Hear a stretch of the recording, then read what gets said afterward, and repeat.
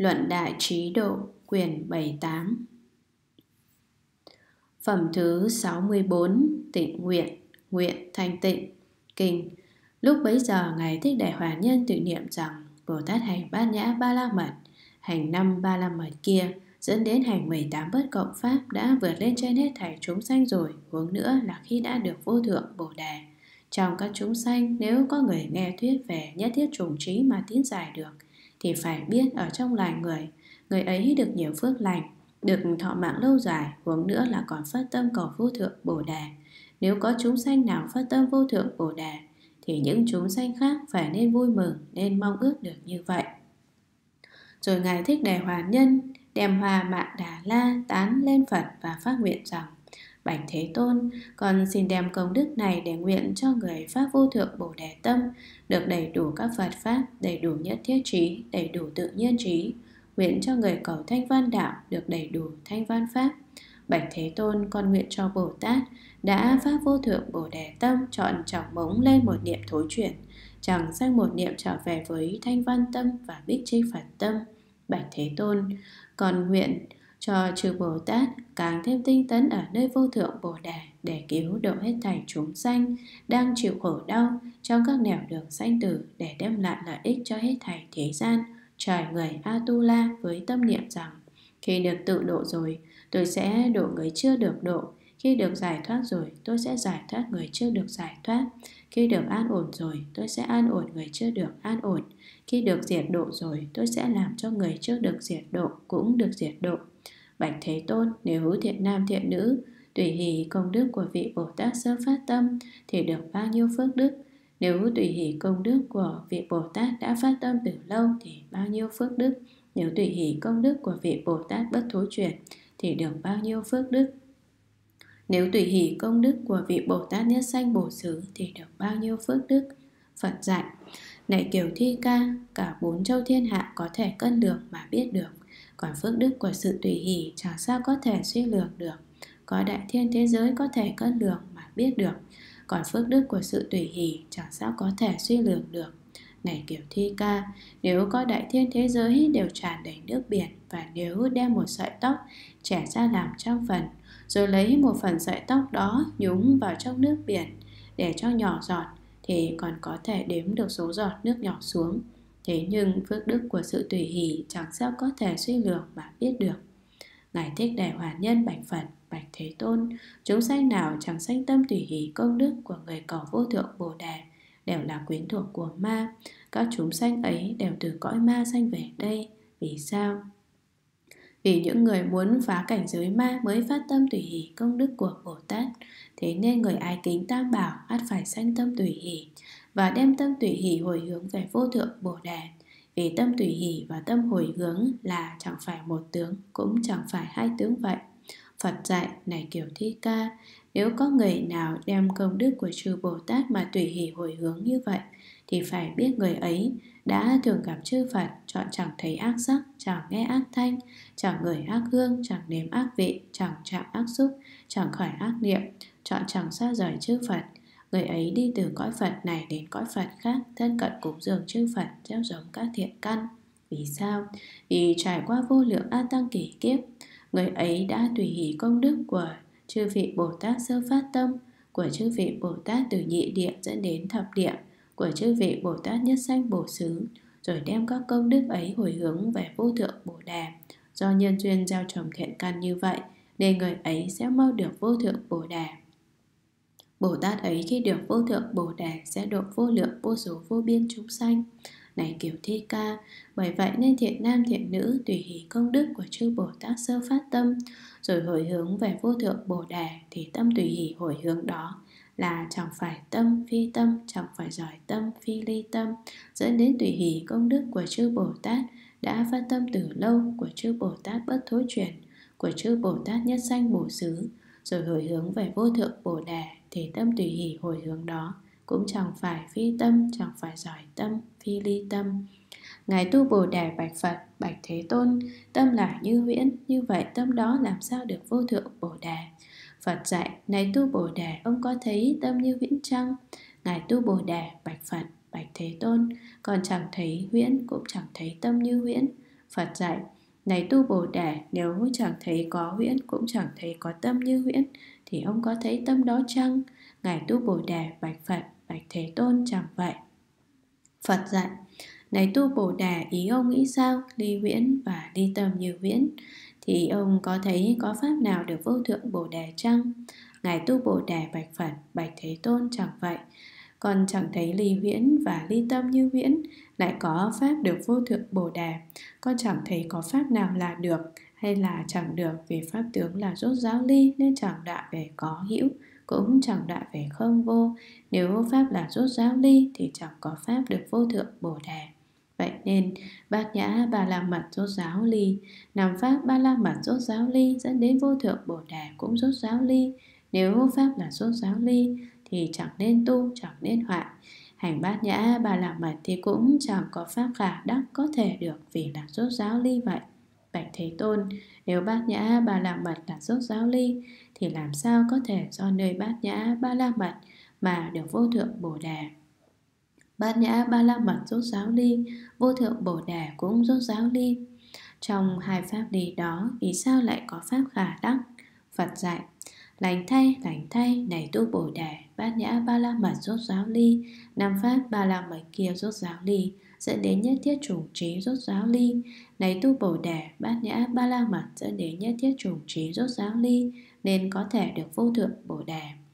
Này tu bồ đề, nếu bát nhã ba la mật chẳng phải là rốt giáo ly, Dẫn đến nhất thiết trùng trí chẳng phải rốt giáo ly, Thì chẳng gọi là bát nhã ba la mật, Dẫn đến chẳng gọi là nhất thiết trùng trí này tu bồ đề, bát nhã ba la mật là rốt giáo ly, Dẫn đến nhất thiết trùng trí là rốt giáo ly, Nên chẳng phải do nơi bát nhã ba la mật Mà được vô thượng bồ đề, Cũng chẳng phải do nơi ly mà được ly. Ngài tu Bồ Đề Bạch Phật Bạch Thế Tôn chỗ sở hành của Bồ Tát có nghĩa rất thâm sâu Phật dạy Này tu Bồ Đề chỗ sở hành của Bồ Tát có nghĩa quá thâm sâu Chứ Bồ Tát Ma Ha Tát làm những việc rất khó làm đó là hành chỗ thâm nghĩa mà chẳng tác chứng thanh văn và bích chi Phật đạo. Ngài tu Bồ Đề bạch Phật, bạch Thế Tôn, theo nghĩa mà con được nghe Phật dạy, thì sở hành của Bồ Tát chẳng phải là khó. Vì sao? Vì Bồ Tát chẳng đắc thâm nghĩa đó để tác chứng, chẳng đắc bát nhã ba la mật để tác chứng, cũng chẳng có người tác chứng. Bạch Thế Tôn nếu hết thảy pháp đều chẳng thể đắc, thì tác chứng có nghĩa gì? Thế nào là bát nhã ba la mật tác chứng? Thế nào là người tác chứng và tác chứng rồi được vô thượng Bồ Đề Bạch Thế Tôn như vậy gọi là Bồ Tát ở nơi vô sở đắc mà hành Bồ Tát hạnh Bồ Tát hành như vậy nên ở nơi hết thảy Pháp đều được minh liễu Bạch Thế Tôn nếu Bồ Tát nghe thâm Pháp như vậy mà chẳng kinh, chẳng hãi, chẳng sợ, chẳng trầm một thì đó mới gọi là Bồ Tát hành bát nhã ba la mật khi hành bát nhã ba la mật Bồ Tát chẳng thấy mình hành bát nhã ba la mật Chẳng thể có pháp bát nhã ba la mật Cũng chẳng thấy hành bát nhã ba la mật Nó sẽ được vô thượng Bồ đà Vì sao? Vì khi hành bát nhã ba la mật Bồ Tát chẳng giấy niệm thanh văn và bích chi Phật cách xa ta Cách xa bát nhã ba la mật. Còn ta thì gần nhất thiết trùng trí gần Thế Tôn. Bạch Thế Tôn ví như hư không Chẳng giấy niệm phân biệt Có pháp ở xa, có pháp ở gần. Vì hư không là vô phân biệt. Cũng như vậy, Bồ Tát hành bát nhã ba la mật trong giấy niệm phân biệt rằng Thanh văn xa ta, nhất thiết trùng trí gần ta vì bát nhã ba la mật là vô phân biệt. Bạch Thế Tôn, ý như người huyễn chẳng giấy niệm phân biệt rằng huyễn sư ở gần ta, các khán giả ở cách xa ta, vì người huyễn là vô phân biệt. Cũng như vậy, Bồ Tát hành bát nhã ba la mật chẳng giấy niệm phân biệt rằng Thanh văn xa ta, nhất thiết trùng trí gần ta, vì bát nhã ba la mật là vô phân biệt. Bạch Thế Tôn, ví như ảnh trong gương chẳng giấy niệm phân biệt vật ở trước gương là xa hay là gần, vì ảnh là vô phân biệt.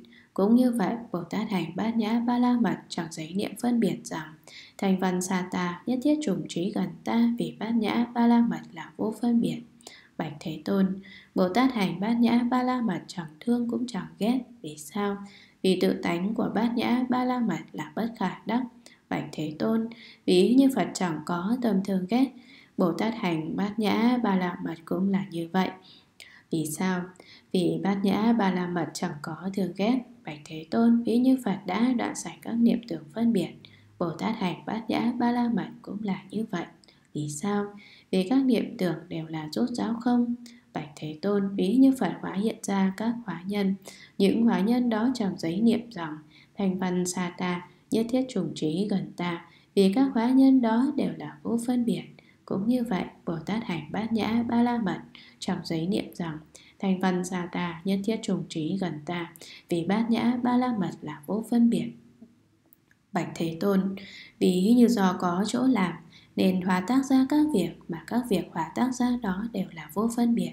Cũng như vậy, do có các việc phải làm Mà phải tu tập, Khiến các việc ấy được thành tựu Mà bát nhã ba la mật cũng vẫn là vô phân biệt. Bạch Thế Tôn Ví như người thợ có chỗ đặt hàng Mới cùng với học trò bỏ công ra làm người gỗ, ngựa gỗ, trâu gỗ, dây gỗ, vân vân. Các tượng gỗ đó cũng làm nên việc Nhưng đều là vô phân biệt. Bát nhã ba la mật cũng vậy. Vì có các việc phải làm Nên nói bát nhã ba la mật thành tựu các việc Nhưng bát nhã ba la mật là vô phân biệt. Lúc bấy giờ Ngài Xá Lợi Phất hỏi Thưa Ngài Tu Bồ Đề chỉ có bát nhã ba la mật là vô phân biệt. Hai năm ba la mật kia cũng là vô phân biệt. Ngài Tu Bồ Đề đáp Thưa Ngài Xá Lợi Phất Năm ba la mật kia cũng đều là vô phân biệt cả. Ngài Xá Lợi Phất hỏi Sắc dẫn đến thức, nhãn dẫn đến ý, sắc dẫn đến pháp, nhãn thức dẫn đến ý thức, nhãn xúc dẫn đến ý xúc, nhãn xúc nhân duyên sanh thọ dẫn đến ý xúc nhân duyên sanh thọ cũng đều là vô phân biệt chăng? Bốn thiền, bốn vô lượng, bốn vô xác định, bốn niệm xứ dẫn đến tám thánh đạo, ba giải thoát môn, mười Phật lực, bốn vô sở ví, bốn vô ngại trí, đại tử đại bi, mười tám bất cộng pháp, vô thượng bồ đề, vô vi tánh cũng đều là vô phân biệt chăng? Ngài tu bồ đề đáp sắc dẫn đến vô vi tánh cũng đều là vô phân biệt cả. Ngài xá lợi phất hỏi, nếu hết thảy các pháp đều là vô phân biệt, thì làm sao phân biệt được sáu đạo chúng sanh, làm sao phân biệt biệt được bốn quả thanh văn, làm sao phân biệt được quả bích chi Phật, quả Phật. Ngài tu bổ đề đáp do nhân duyên chúng sanh điên đảo tạo ba nghiệp ở thân khẩu và ý, rồi tùy theo nghiệp dẫn mà thọ thân vào sáu đạo chúng sanh gồm địa ngục ngạ quỷ súc sanh trời người và atula làm sao phân biệt quả tu đà hoàn dẫn đến có quả phật chăng thưa ngài xá lợi phất do phương phân biệt mà có quả tu đà hoàn quả tu đà hàm quả ana hàm quả a la hán quả bích chi phật, dẫn đến cũng do vô phân biệt mà có quả phật. Thưa ngài xá lợi phất, trừ phật trong quá khứ cũng do vô phân biệt, do dứt đoạn phân biệt nên có vậy. Thường Ngài xá lợi Phất, phải biết rằng hết thảy Pháp đều là vô phân biệt, Vì đều chẳng có tướng họa, đều là Pháp tánh thật tế. Đều là như Pháp tánh thật tế. Thường Ngài xá lợi Phất, Bởi vậy nên Bồ Tát phải hành vô phân biệt bát nhã ba la mật. Hành vô phân biệt bát nhã ba la mật rồi, Là liền được vô phân biệt, vô thượng Bồ Đề.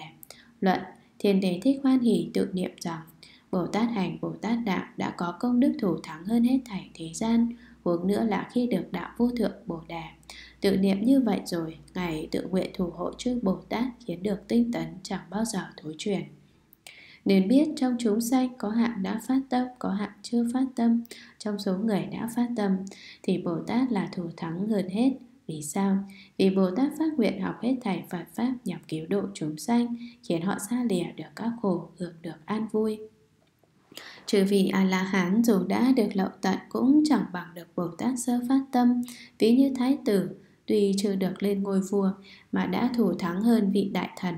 Cũng như vậy Bồ Tát tuy chỉ mới sơ phát tâm Đã thắng hơn hạng Thanh Văn và Bích Chi Phật Có hai hạng Bồ Tát sơ phát tâm Đó là hạng người phát tâm làm Bồ Tát hạnh Hành sáu pháp ba la mật Hạng người chưa phát tâm Mà đã làm Bồ Tát hạnh Hành sáu pháp ba la mật Cả hai hạng người này tuy chưa thành tựu được Bồ Tát Đạo nhưng đã thắng hơn hết thảy chúng sanh.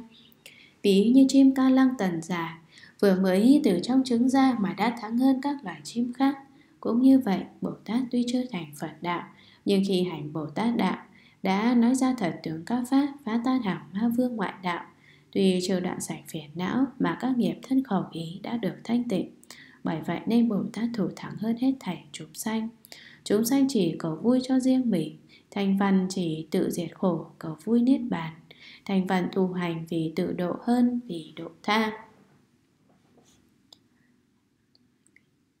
Trái lại, Bồ Tát trải rộng tâm đại bi, thương xót chúng sanh và nguyện độ hết thảy chúng sanh nên thủ thắng hơn nhiều.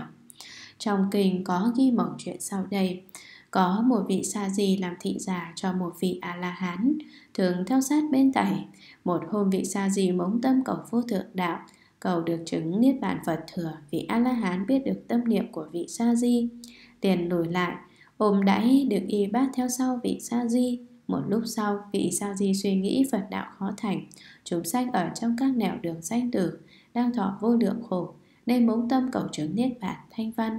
Vị a la hán lại trao đãi đựng y bát cho vị sa di và bảo vị này đi theo sau mình. Vị sa di thưa bạch thầy vì sao thầy mới bảo con đi trước nay lại đổi ý bảo con đi sau? Vị a la hán đáp trước con đã phát vô thượng bổ đề tâm buổi được làm phật tâm ấy rất quý vì đó là tâm phật, nên ta phải nhường con đi trước. Biết chi phật còn cung kính, cúng dường phật, huống nữa là ta chỉ mới là a la hán Thế nhưng ngay sau đó con lại thối chuyển, Muốn trở lại với tâm thanh văn, Nên còn phải đi theo ta vậy. Vị Sa Di nghe thầy nói sanh tâm sợ hãi, Biết rằng thầy đã biết mình, Đã có lần phát bồ đề tâm, Đã có lần phát Bồ Tát tâm, Cũng biết rằng Bồ Tát chỉ mới phát tâm cũng đã thủ thắng hơn A-la-hán rồi Huống nữa là thành tựu vô thượng đạo bởi vậy nên biết rằng chỉ một phen phát tâm muốn thành Phật để độ thoát chúng sanh là đã thủ thắng hơn biết bao nhiêu người tu thiền định giải thoát rồi vậy. Trong kinh mà Hà diễn luận rằng có người phát đại thừa tâm tuy còn trong hàng tệ ác tiểu nhân mà đã thủ thắng hơn hàng nhị thừa. Vì Bồ Tát Đại Thừa là người đại giải thoát, ly nhị biên hành trung đạo. Bởi vậy nên ngay khi vừa phát tâm đã thủ thắng hơn hết thảy chúng sanh, huống nữa là khi thành Phật quả. Người nghe bát nhã ba la mật mà sanh được tín tâm thanh tịnh là đã có được đại lợi ích vậy. Có thuyết nói, Bồ Tát khi đã được bất thối truyền rồi thì chẳng còn bị đoạn vào các đường ác. Có thuyết nói Bồ Tát trú trong quả báo thần thông Đi khắp cả mười phương cúng dường chư Phật giáo hóa chúng sanh Bồ Tát dùng mọi phương tiện để giáo hóa chúng sanh Nên được thọ mạng lâu dài Mạng nói trên đây có hai nghĩa Đó là mạng căn, huệ mạng Người được trí huệ mạng, được người đời quý trọng nên nói là được thọ mạng lâu dài. Người phát tâm đại thừa được quý kính. Vì sao? Vì do nhân duyên xảo bỏ sự an vui của chính mình và nguyện đem lại sự an vui cho người khác. Bởi nhân duyên vậy, nên vị đế thích sanh tâm đại hoan hỷ, đem hòa mạng đà la cúng dường Phật. Hỏi vì sao vị đế thích đem phước đức của mình để nguyện cho những người cầu Phật đạo, đều được đầy đủ Phật Pháp. Đáp, tùy chẳng có thể đem phước đức của mình cho người khác được, Nhưng vị đế thích đã dùng hảo tâm của mình Để tùy hỷ công đức của những người cầu Phật đạo Vị đế thích bạch Phật rằng, Tuy rằng con chỉ được thanh văn đạo, Nhưng con chọn chẳng danh niệm, Muốn Bồ Tát thối tâm về nhị thừa vì Bồ Tát thấy chúng sanh chịu khổ đau trong các đường sanh tử, Mà nguyện độ chúng sanh thoát khổ khiến họ được giải thoát Trong chúng hội có người giấy niệm nghĩ rằng, tùy hỷ công đức của người sơ phát tâm Bồ Tát và tùy hỷ công đức của Bồ Tát đã phát tâm lâu, có sai khác, nên thiên đế thích bạch Phật. Người tùy hỷ công đức của Bồ Tát sơ phát tâm được bao nhiêu phước đức, dẫn đến người tùy hỷ công đức của Bồ Tát nhất sanh bổ xứ được bao nhiêu phước đức. Phật dạy phước đức của sự tùy hỷ chẳng sao có thể suy lược mà biết được. Thiên đế thích bạch Phật. Người nào biết được công đức của Bồ Tát mà chẳng tùy hỷ đều là quyến thuộc của ma. Vì do tu tập ác tâm nên chẳng tùy hỷ công đức của người tu Bồ Tát hạnh. Trái lại, người cầu Phật đạo là người đã quyết tâm phá cảnh giới ma, phá ái dục, thâm kính tam bảo, nên mới đem tâm tùy hỷ công đức của chư Bồ Tát và hồi hướng về vô thượng Bồ Đề. Tâm tùy hỷ và tâm hồi hướng là chẳng phải một cũng chẳng phải hai. Vì sao? Vì các pháp chẳng có định hướng và đều do nhân duyên sanh Nên nói hai tâm là chẳng phải một Nhưng tâm tùy hỷ chẳng có phân biệt với tâm hồi hướng Nên nói hai tâm là chẳng phải hai Phật dạy người nào đem công đức của chư Bồ Tát của chư Phật ở trong mười phương mà tùy hỷ hồi hướng về vô thượng Bồ Đề sẽ được sanh vào thời có Phật, chọn chẳng thấy ác sắc, dẫn đến chẳng chạm ác xúc, chọn chẳng xa rời chư Phật, chẳng đoạn Phật trùng, ở đây, Phật nói lên các nhân duyên người Pháp Bồ Đề Tâm được đại quả báo sẽ mau được vô thượng Bồ Đề, độ vô lượng chúng sanh.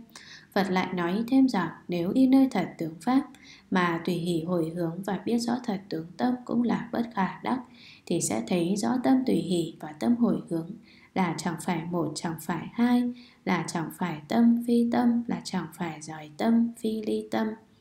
Ngài tu Bồ Đề Bạch Phật, tâm là chẳng phải tâm phi tâm, là không, là vô sở hữu, là như huyễn. Như vậy tâm đó làm sao được vô thượng Bồ Đề? Phật dạy, ông có thấy tâm như huyễn chăng? Ngài tu Bồ Đề nghĩ rằng, nếu tâm là không, là như huyễn, thì chẳng có thể thấy được còn trái lại, nếu thấy được tâm thì tâm chẳng phải là không, là như huyễn Nghĩ như vậy nên Ngài đáp con chẳng thấy vậy Phật dạy, nếu tâm là không, là vô sở hữu, là như huyễn thì nơi đó có thấy, có có thấy không chăng? Ngài tu bồ đề đáp con chẳng thấy vậy. Phật dạy, ly huyễn và ly tâm như huyễn. Ông có thấy có pháp nào được vô thượng bồ đề chăng? Ngài tu bồ đề đáp con chẳng thấy có pháp nào được vô thượng bồ đề cả. Chẳng thấy có pháp nào khả đắc cả. Vì các pháp là rốt giáo không, rốt giáo ly nên chẳng đoạn về có cũng chẳng đoạn về không nếu chẳng đoạn về có chẳng đoạn về không thì là vô sở hữu nên chẳng có pháp được vô thượng bổ đề vậy Phật dạy bởi nhân duyên vậy nên bát nhã ba la mật rốt giáo ly tướng thấy có hoặc thấy không đều là lỗi lầm cả năm ba la mật kia dẫn đến vô thượng bồ đề cũng đều là như vậy cả nếu đều là rốt giáo ly tướng thì đều là bất khả đắc vậy cho nên thấy là bất khả đắc Tu là bất khả đắc, đoạn là bất khả đắc, chứng cũng là bất khả đắc vậy. Chứng đắc pháp như vậy là vô sở đắc là rốt giáo ly vậy. Ngày Bồ Đề, Bạch Phật, Bát Nhã, Bà Lạc Mật rốt giáo ly, vô thượng Bồ Đề rốt giáo ly. Như vậy làm sao có thể dùng rốt giáo ly để được rốt giáo ly? Nếu một pháp rốt giáo ly là đã chẳng được rồi, huống nữa là cả hai pháp đều rốt giáo ly. Ví như lấy ngón tay chạm vào hư không, mà hư không chẳng có chỗ chạm xúc thì ngón tay cũng chẳng có thể xúc được. Hơn thế nữa nếu bát nhã ba la mật rốt giáo ly, niết bàn rốt giáo ly, vô thượng bồ đề rốt giáo ly thì làm sao có thể dùng bát nhã ba la mật rốt giáo ly để được niết bàn rốt giáo ly, được vô thượng bồ đề rốt giáo ly. Phật biết Ngài Tu Bồ Đề đã dùng thật tướng Pháp để nói nên Phật tán thán Lành thay, lành thay, bát nhã ba la mật là rốt giáo ly và vô thượng bồ đề là rốt giáo ly, nên chẳng phải do nơi bát nhã ba la mật mà được vô thượng bồ đề, chẳng phải do nơi ly mà được ly. Vì sao? Vì nếu pháp có định tướng thì chẳng phải là không, tức là thường. Mà đã là thường thì chẳng có sanh tướng. Nếu các pháp ở quá khứ, hiện tại và vị lai là không, thì cũng chẳng có sanh tướng. Nếu chẳng có sanh tướng thì cũng chẳng có diệt tướng. Nếu chẳng có sanh diệt tướng thì chẳng có bốn thánh đế khổ tập diệt đạo vậy. Lại nữa nếu nói vô pháp là thật pháp là rốt giáo không Thì chẳng có vô thượng bồ đề Chẳng có Phật bảo, chẳng có pháp bảo, chẳng có tăng bảo Bởi các lỗi lầm trên đây Nên nói là rốt giáo ly tướng vậy.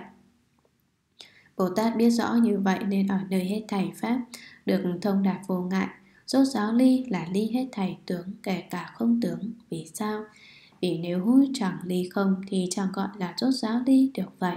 Bởi vậy nên nói, Bát nhã, Bà là mật là rốt giáo ly Vô thượng bồ đề là rốt giáo ly Chẳng phải do nơi bát nhã ba la mật mà được vô thượng bồ đề, Lại cũng chẳng phải do nơi ly mà được ly. Bồ Tát hành bát nhã ba la mật rốt giáo ly Mà được vô thượng bồ đề rốt giáo ly Cả hai pháp lý đó đều rốt giáo không, Rốt giáo bất khả đắc cả. Ngày tu Bồ đà biết rõ Phật dạy chỗ thâm tướng nên bạch Phật Bồ Tát hành đạo như vậy là hành thập thâm nghĩa. Phật dạy đúng như vậy, đúng như vậy.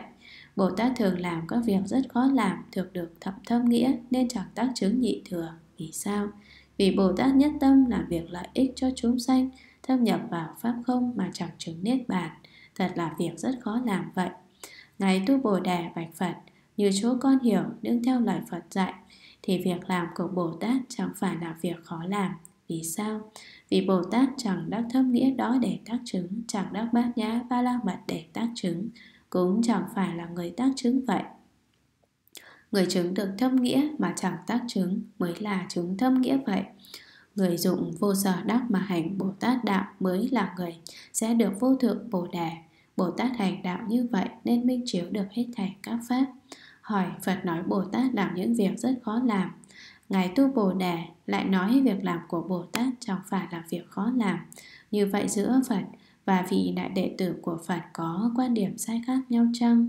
Đáp, Phật vì đại chúng đã dùng thế đế nên nói là khó làm. Ngài tu Bồ Đề dùng đệ nhất nghĩa đế nên nói là chẳng khó làm. Phật vì chúng sanh nói Bồ Tát làm những việc rất khó làm. Có người nghe nói như vậy để phát tâm, Nhưng cũng có người nghe nói việc khó làm liền thối tâm. Bởi vậy nên Ngài Tu Bồ Đề nói chỗ sở hạnh của Bồ Tát chẳng phải là khó. Bồ Tát dụng tâm vô sở đắc tu Bồ Tát hạnh.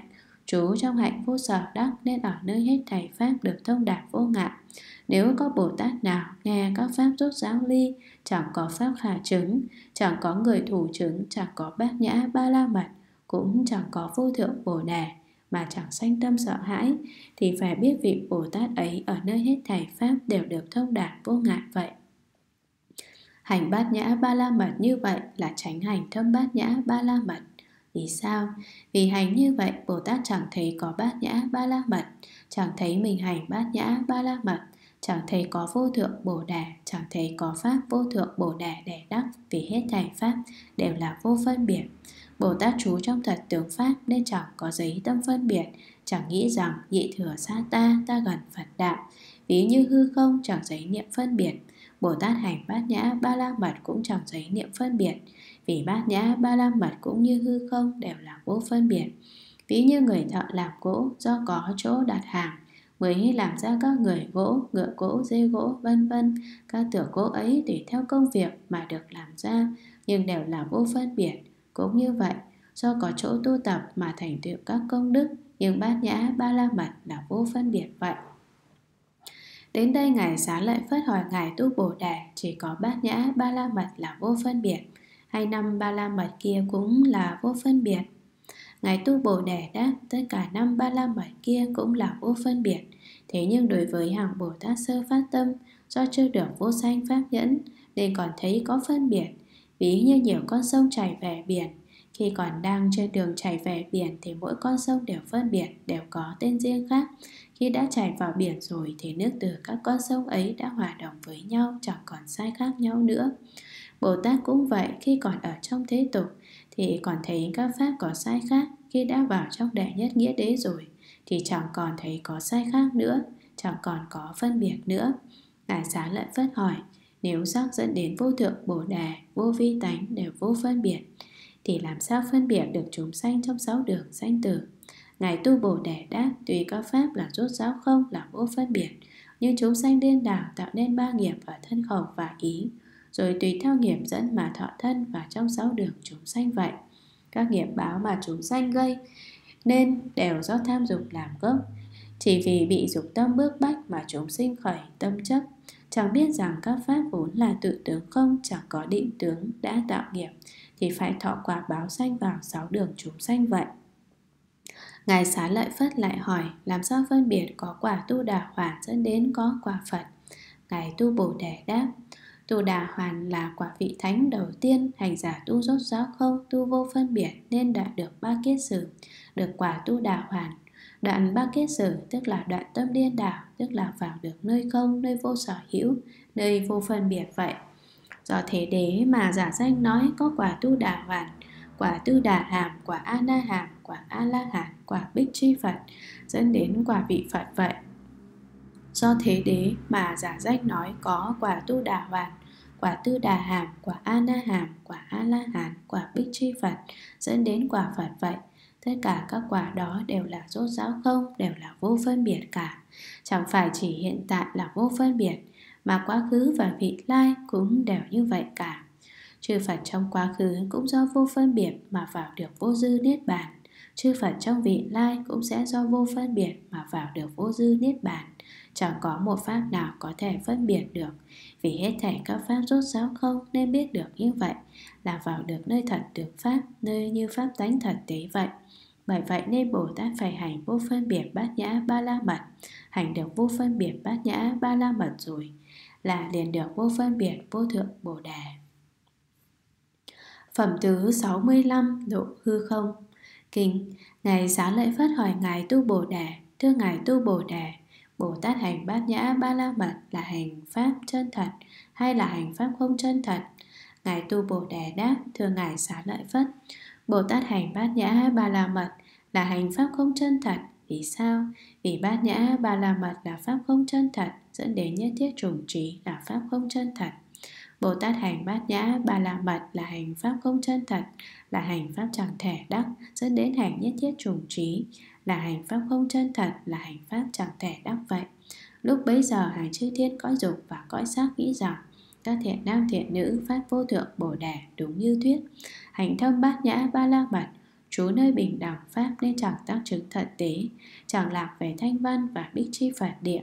Những người như vậy đáng được chúng ta cung kính, đảnh lễ. Ngài tu bồ đề nói, thưa trừ vị thiên tử trừ đại bồ tát trú nơi bình đẳng pháp mà chẳng lạc về thanh văn và bích chi phạt địa, chẳng có gì là khó.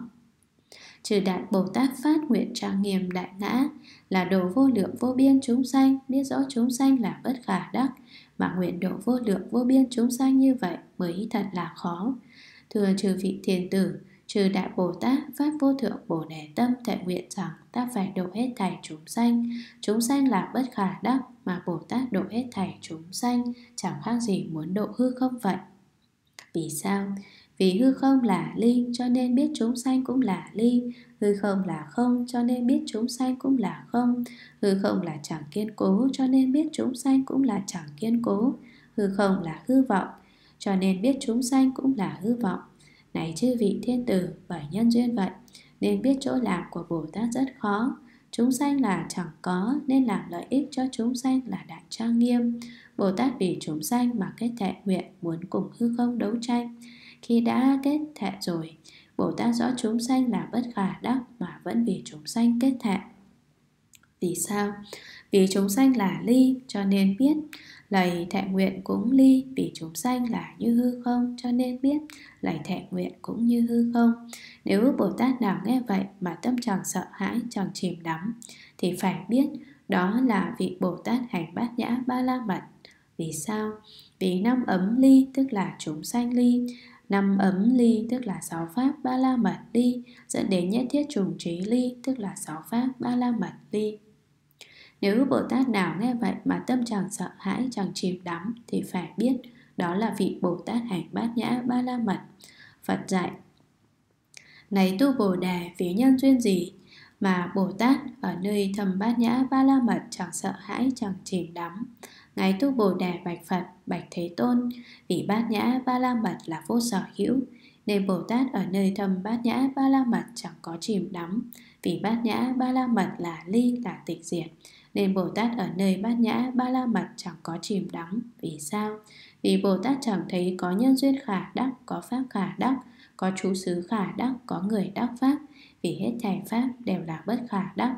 Bạch Thế Tôn, nếu Bồ Tát nào nghe vậy mà tâm chẳng sợ hãi, chẳng chìm đắm thì phải biết đó là vị Bồ Tát hành bát nhã ba la mật. Vì sao? Vì người, việc và xứ đều là bất khả đắc cả. Nếu Bồ Tát nào y như vậy mà hành bát nhã ba la mật thì các chư tiên cùng các vị thiên chủ đều đảnh lễ. Phật dạy, này tu Bồ Đề chẳng những hàng chư thiên và chư thiên chủ đều đảnh lễ mà hiện tại ở trong khắp mười phương, chư Phật cũng đều hộ niệm vị Bồ Tát ấy. Này tu Bồ Đề phải biết vị Bồ Tát ấy là như Phật rồi. Nếu trong hàng sát thế giới đều có vô lượng ma biến hóa ra các thân để quấy nhiễu vị Bồ Tát hành bát nhã ba la mật ấy, thì cũng chẳng sao có thể gây lưu nạn được.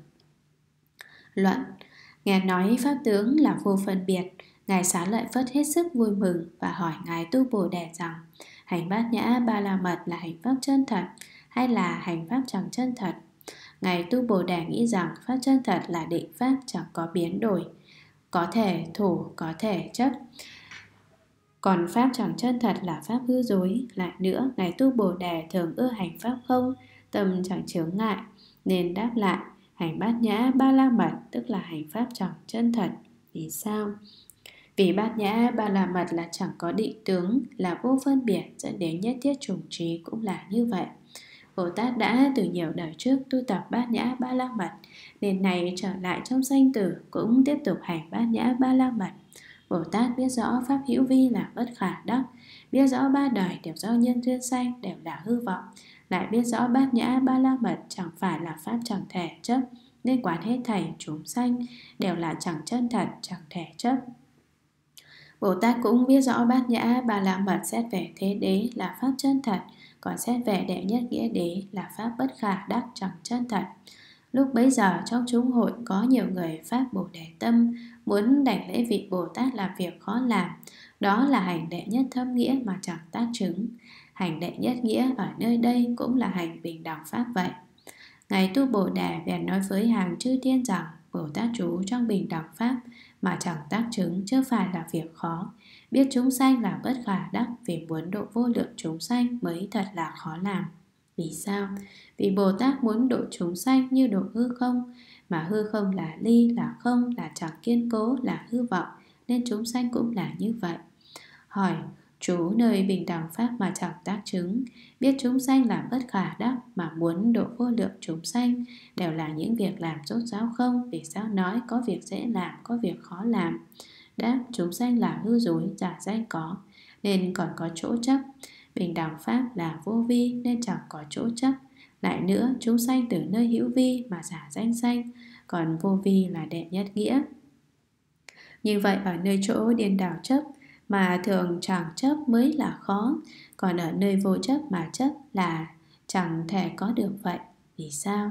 Vì chúng sanh là không nên đại trang nghiêm cũng không, nếu ở nơi đại trang nghiêm không mà thường phát tâm mới thật là việc khó làm.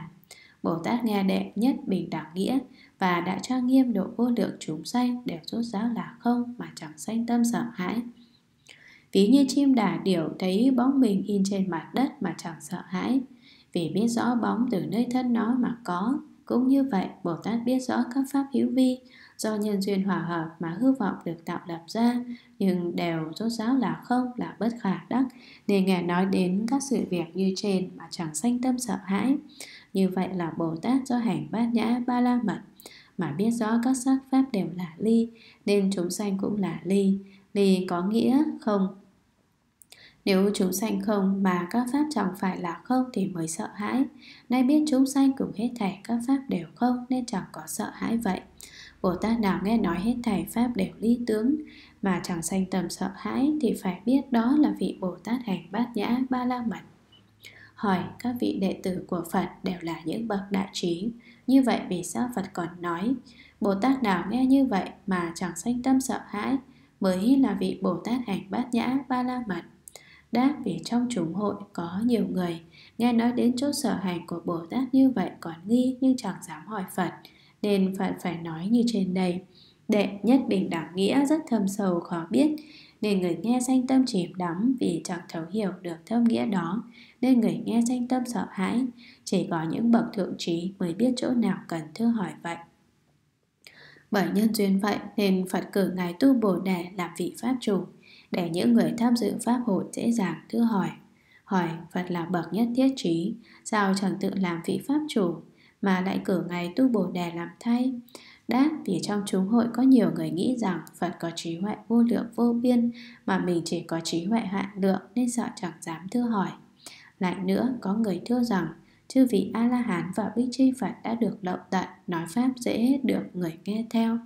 Còn chư vị Bồ Tát tuy đã tu tập vô lượng công đức nhưng chưa sạch kết sử nên nói pháp thiết được người nghe theo. Người độ căn nghe Bồ Tát nói pháp khó danh tâm tín thọ. Hỏi, Ngài Xá Lợi Phất là bậc trí huệ đệ nhất, vì sao Phật chẳng bảo Ngài làm vị pháp chủ? Đáp vì Ngài Tu Bồ Đề thường ơn nói về Pháp không mà bát nhã ba la mật giải rộng về Pháp không nên Phật bảo Ngài Tu Bồ Đề làm vị Pháp chủ nói về Pháp không.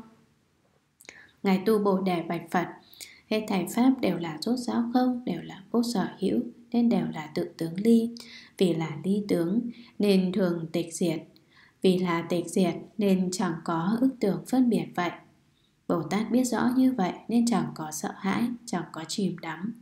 Bồ Tát nào biết rõ các pháp đều là bất khả đắc mà chẳng có sợ hãi, chẳng có chìm đắm thì phải biết đó là vị Bồ Tát hành bát nhã ba la mật. Bồ Tát hành như vậy thì các hàng chư thiên của các vị thiên chủ đều phải đảnh lễ. Vì sao? Vì chư thiên ở cõi dục gần với chúng sanh và được chúng sanh tôn kính, nên Ngài Tu Bồ Đề nói, chư thiên phải đảnh lễ để tạo niềm tin nơi chúng sanh, khiến họ sanh tâm tin kính chư vị Bồ Tát hành bát nhã ba la mật vậy. Lại nữa, Bồ Tát bỏ niềm vui riêng của mình để làm việc lợi ích cho chúng sanh, khiến họ được an vui.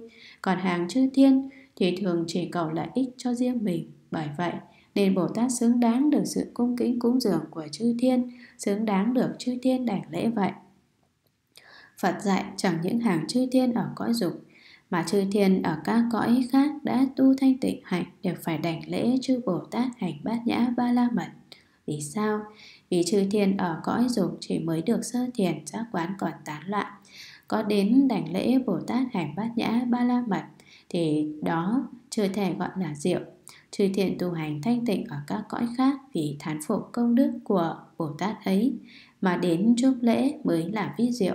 Phật dạy thêm, Bồ Tát hành bát nhã ba la mật như vậy, được chư Phật ở khắp mười phương thượng hộ niệm. Bồ Tát tu tập như vậy được quả báo sẽ được làm Phật, nên được xem như là Phật rồi vậy. Bồ Tát tu tập như vậy quyết định sẽ đến vô thượng Bồ Đề chọn. Chẳng còn thối chuyển khiến các ác ma, chẳng còn có thể phá hoại được nữa. Hết quyền 78 Luận Đại Trí Độ Quyền 79 Phẩm thứ 65 Độ hư không, tiếp theo. Kinh. Này tu Bồ Đề, Bồ Tát thành tựu hai pháp khiến ác ma chẳng phá hoại được. Đó là quán hết thảy pháp không, Chẳng xả bỏ hết thảy chúng sinh. Bồ Tát lại thành tựu hai pháp nữa khiến ác ma chẳng phá hoại được Đó là làm đúng như nói được chư Phật hộ niệm. Này tu Bồ Đề, Bồ Tát hành như vậy nên chư tiên đến thân cận thăm hỏi và thưa rằng Chẳng bao lâu nữa, Ngài sẽ được vô thượng Bồ Đề nên Ngài phải hành không, vô tướng và vô tác. Vì sao? Vì hành các hạnh đó Ngài sẽ hộ cho những chúng sanh chẳng được hộ Sẽ làm chỗ y chỉ cho những chúng sanh chẳng có chỗ y chỉ sẽ cứu những chúng sanh chẳng được cứu, sẽ làm con đường cứu cánh. Cho những chúng sanh chẳng có chỗ cứu cánh, sẽ làm chỗ quy y. Cho những chúng sanh chẳng có chỗ quy y, sẽ làm chỗ cồn đảo cho những chúng sanh chẳng có nơi trú ngụ, sẽ làm đuốc sáng. Cho những chúng sanh mê muội, sẽ làm đôi mắt sáng. Cho những chúng sanh bị đuôi mù. Bồ Tát hành bát nhã ba la mật như vậy. Trừ Phật trong các mười phương khi thuyết pháp trước đại chúng đều xưng dương và tán thán danh tánh của vị Bồ Tát ấy. Vì sao? Vì do hành bát nhã ba la mật như vậy mà Bồ Tát ấy thành tựu được vô lượng công đức khiến hạt giống Phật chẳng hoạn đoạn dứt này tu bồ đà như khi ta thuyết pháp trước đại chúng, ta cũng xưng dương và tán thán danh tánh của Bồ Tát Bảo Tướng, Bồ Tát Thi Khí. Lại nữa ở thế giới Phật A Xúc Bệ, có những Bồ Tát hành bát nhã, ba la mật, tịnh tu phạm hạnh, ta cũng xưng dương và tán thán các Bồ Tát ấy. Ở các thế giới Phật về bốn phương, Đông, Tây, Nam và Bắc, về hai phương trên và dưới, về bốn phương chéo, ta cũng làm như vậy. Lại nữa, này tu Bồ Đề, có Bồ Tát từ sơ phát tâm, đã muốn được đầy đủ Phật đạo, muốn được nhất thiết trùng trí, nên khi chư Phật thuyết Pháp thường dương dương và tán thán các Bồ Tát ấy. Vì sao? Vì do hành bát nhã ba la mật như vậy, mà các Bồ Tát ấy thành tựu được vô lượng công đức khiến giống Phật chẳng đoạn dứt. Ngài tu Bồ Đề bạch Phật, bạch Thế Tôn, những Bồ Tát nào được chư Phật khi thuyết Pháp xưng dương và tán thán. Phật dạy, này tu Bồ Đề đó là các vị Bồ Tát bất thối chuyển. Ngài tu Bồ Đề bạch Phật Bạch Thế Tôn Bồ Tát bất thối chuyển nào Được chư Phật xưng dương và tán thán. Phật dạy Này tu Bồ Đề tu tập như Đức Phật A Xúc Bệ khi còn là Bồ Tát. Chư Bồ Tát bất thối chuyển cũng phải tu tập như vậy. Chư Bồ Tát bất thối chuyển này được chư Phật Khi thuyết Pháp xưng dương và tán thán. Lại nữa, này tu Bồ Đề có Bồ Tát hành bát nhã ba la mật dù chưa được vô sanh pháp nhẫn, nhưng đã tín giải hết thảy pháp vô sanh tín giải hết thảy pháp không. Biết rõ hết thảy pháp đều là hư vọng, đều chẳng thật có, đều chẳng kiên cố. Này tu bồ đề, các bồ tát này được chư phật khi thuyết pháp xưng dường và tán thán. Này tu bồ đề, nếu có bồ tát nào được chư phật khi thuyết pháp xưng dường và tán thán, thì phải biết vị Bồ Tát ấy đã diệt hẳn tâm thanh văn và tâm bích chi Phật, sẽ được thọ ký vô thượng Bồ Đề. Này tu Bồ Đề, Bồ Tát nào được chư Phật, khi thuyết pháp, xưng dương và tán thán sẽ được an trú trong bất thối chuyển địa, Chú ở địa này rồi sẽ được nhất thiết trùng trí. Lại nữa, này tu Bồ Đề, nếu có Bồ Tát nào nghe thâm bát nhã ba la mật mà tâm được bừng sáng, chẳng nghi lại tự niệm rằng sự việc như vậy nên Phật nói ra đúng như vậy thì phải biết vị Bồ Tát ấy đã được nghe Phật A Xúc. Cùng hàng Bồ Tát rộng nói về bát nhã ba la mật. Nghe xong Bồ Tát ấy liền tín giải rồi đúng như thuyết tu hành dẫn đến A trú trong bất thối chuyển địa.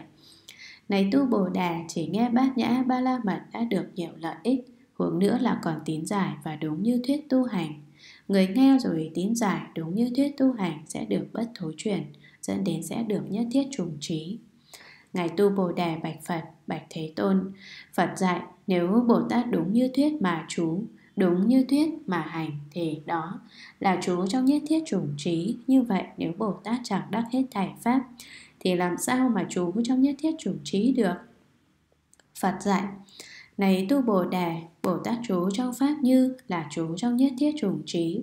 Ngài tu Bồ Đề bạch Phật, bạch Thế Tôn, trừ như ra thì chẳng có Pháp nào khả đắc. Như vậy thì ai chú trong như và chú trong như rồi sẽ được vô thượng Bồ Đề. Ai chú trong như để thuyết Pháp, như còn bất khả đắc vướng nữa là chú trong như sẽ được vô thượng Bồ Đề, nên chẳng có ai chú trong như để thuyết Pháp vậy. Phật dạy đúng như vậy, đúng như vậy. Này tu bồ đề trừ như ra thì chẳng có pháp nào khả đắc cả.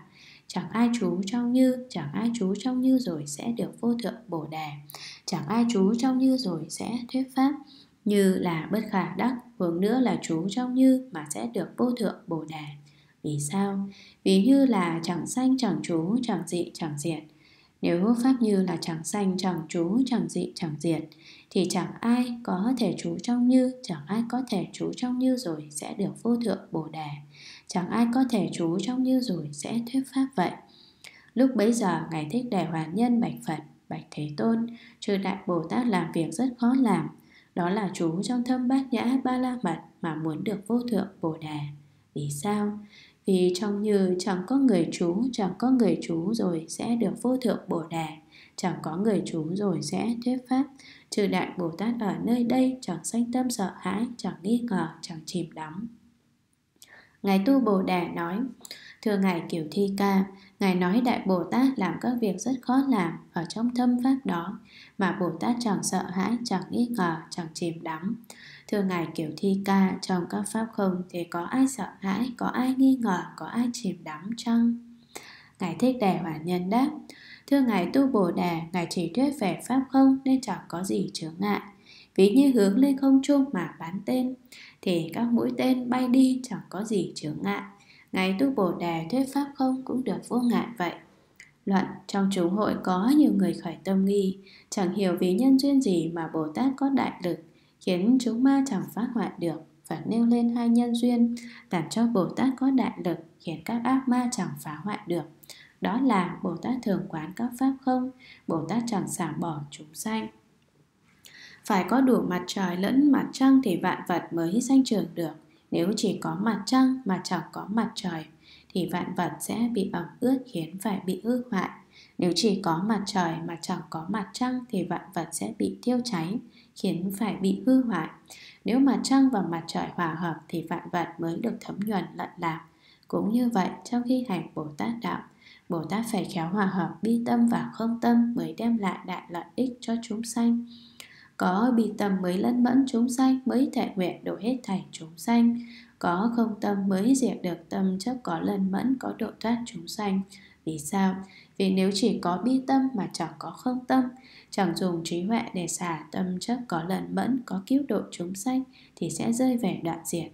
Bởi vậy nên Phật dạy phải song tu cả hai tâm, Nghĩa là phải thường xuyên quán hết thảy pháp, Đều là không mà chẳng rời bỏ chúng sanh.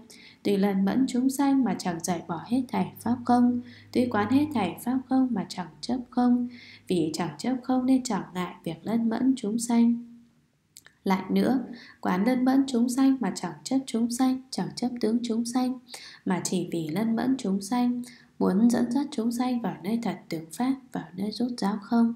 Bởi vậy nên, tuy hành bi tâm lân mẫn chúng sanh, mà chẳng ngăn ngại không tâm, tuy hành không tâm mà chẳng chấp không, nên chẳng ngăn ngại bi tâm, chẳng ngăn ngại việc lân mẫn chúng sanh.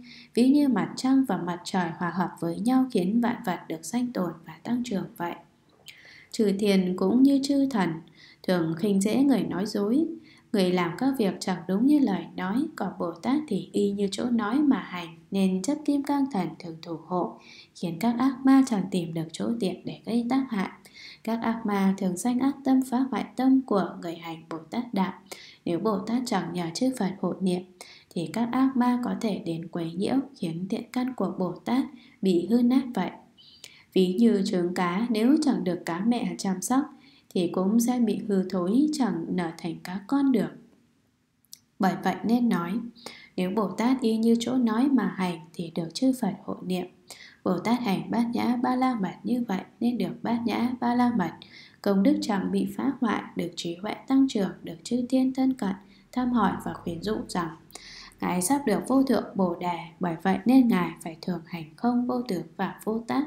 Hỏi, trừ thiền trừ được nhất thiết trùng trí làm sao có thể tham dự việc thọ ký cho Bồ Tát? Đáp trừ thiền ở cõi trời trường thọ thiên, ở trong quá khứ đã được nghe nói hãy bát nhã ba la mật như vậy là nhân duyên dẫn đến việc được thọ ký. Này trừ thiền thấy có Bồ Tát có hạnh như vậy, có nhân tu như vậy, nên biết rõ các vị Bồ Tát ấy sẽ được thọ ký. Trừ thiền thấy các vị Bồ Tát ấy hành ba giải thoát môn, là ba pháp ấn lại thường hành từ bi tâm đối với hết thảy chúng sanh nên tán thán rằng chẳng bao lâu nữa ngài sẽ thành phật. Ngài sẽ hộ những chúng sanh chẳng được hộ sẽ làm chỗ y chỉ cho những chúng sanh chẳng có chỗ y chỉ sẽ làm chỗ quy y cho những chúng sanh chẳng có chỗ quy y vân vân.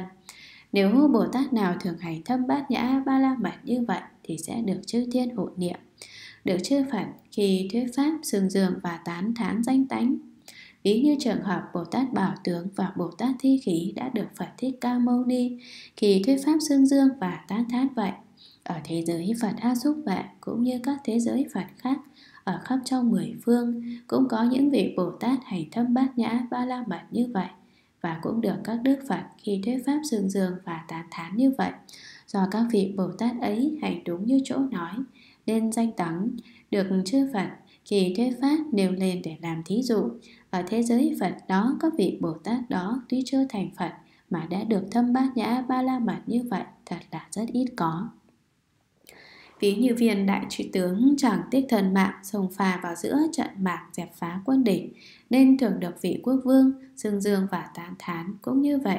Bồ Tát thường quán các pháp không dùng lực phương tiện bát nhã ba la mật tận dẹp các phiền não mà chẳng tác chứng niết bàn, ra vào sanh tử để cứu độ chúng sanh mà chẳng tiết thân mạng, nên được chư Phật xưng dương và tán thán danh tánh vậy. Tùy các đức Phật chẳng có tầm chấp đắm, chẳng phân biệt thiện pháp hay bất thiện pháp, đối với trừ thành văn trừ bích chi Phật cũng như đối với hàm ngoại đạo, chẳng có thương ghét nhưng vì lợi ích cho chúng sanh. Mà thường tán thán thiện nhân, sương dường thiện pháp vì sao? Vì muốn chúng sanh y nơi người có thiện tâm tùy thiện pháp mà tu tập nhằm vượt ra khỏi ngục tù ba cõi. Hỏi tình nào nói chư Phật chư Đại Bồ Tát tán thán và xưng dương các vị Bồ Tát ấy? Đáp sự việc này được nói trong kinh vô lượng. Thế nhưng sau khi Phật nhập Niết Bàn có các vị vua tàn ác tà kiến đem đốt phá rất nhiều kinh điển, phá hoại rất nhiều pháp tự, giết hại rất nhiều sa môn nên 500 năm sau vào thời tượng Pháp có rất ít các vị đắc A-la-hán có đầy đủ thần thông, cũng như có rất ít các vị đại Bồ Tát hành thâm bát nhã ba la mật. Bởi vậy nên các thầm kinh chẳng còn đủ ở cõi diêm phù Đà, người tu thọ trì và hành thâm pháp cũng rất ít, khiến trừ tiên lòng, thiên thần hộ pháp phải đem các thâm kinh cất giữ ở cõi khác. Hỏi, vì sao chẳng tán thán các đại Bồ Tát như Phổ Hiền, Quan Âm Thế Chí, Văn Thủ Di Lặc mà chỉ tán thán hai vị Bồ Tát Bảo Tướng và Thi Khí?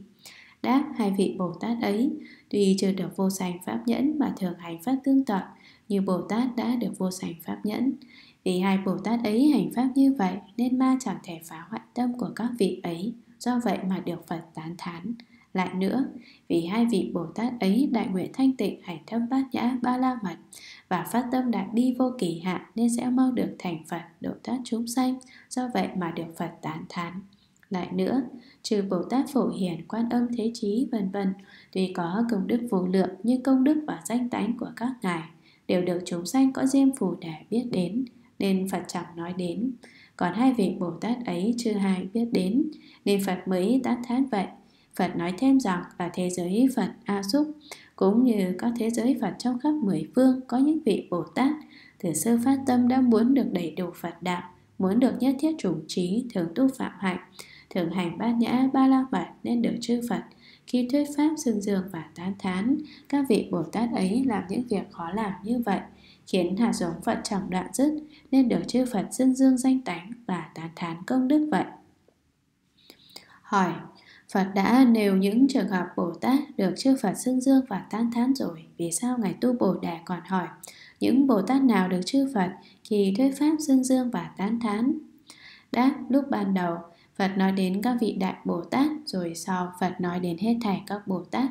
Từ sơ phát tâm dẫn đến thập địa nên Ngài Tu Bồ đà sanh nghi mà hỏi như trên.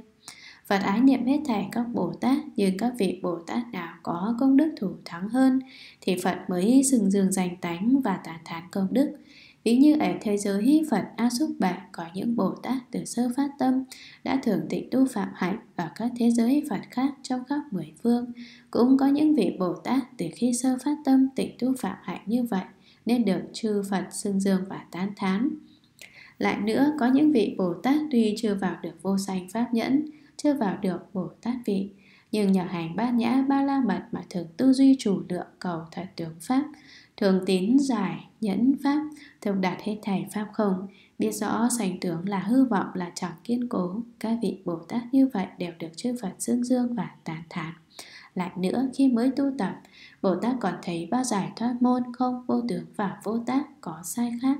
Khi đã vào được thật tướng pháp rồi biết rõ hết thảy pháp đều là vô sanh thì đoạn được hết các quán môn khi mới được nhu thuận nhẫn, chưa vào được vô sanh pháp nhẫn, Bồ Tát mới chỉ ra khỏi phạm phu pháp, tuy chưa tín giải và thọ thánh pháp, nhưng chưa vào được thánh vị. Bởi vậy nên Phật tán thán Bồ Tát vào được thánh pháp như vậy thật là rất có ít.